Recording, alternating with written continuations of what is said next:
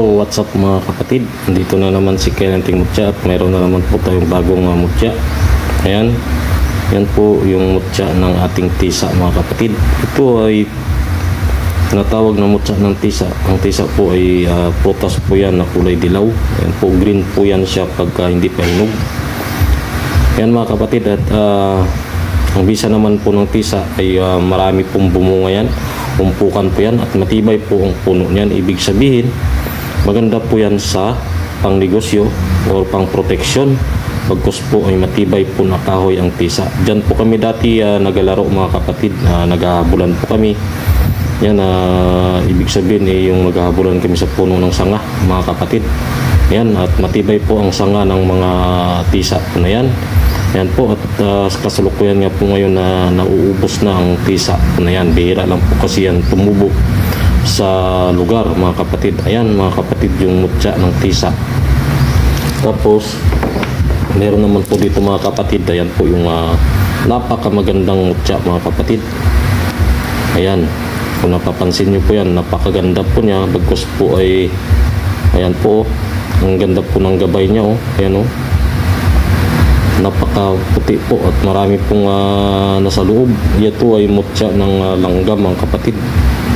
Yan mga kapatid, mutya ito sa langgam mga kapatid. Ayan. Ayan mga kapatid, kung nakikita nyo po yan, yan po ay itlog.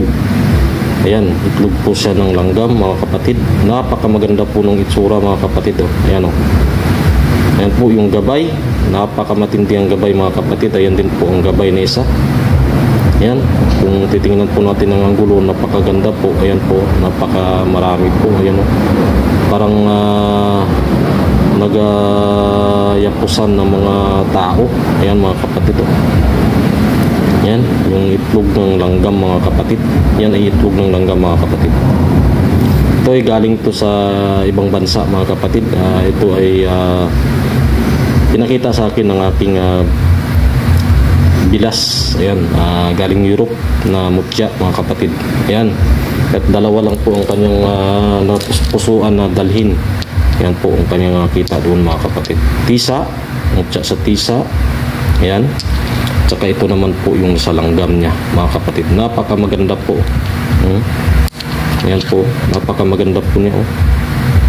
pero pagka titingnan po natin siya ayan po yung itsura ayan po yung rayna ng langgam mga kapatid Try na po ito ng langgam mga kapatid. Ayan, kung napapansin niyo po yan. Napakamaganda po niya. Ayan, na ng langgam mga kapatid. Ayan, napakamaganda.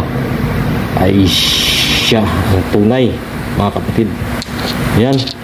At uh, uh, shout out po sa lahat ng mga antingero-antingera at uh, God bless you.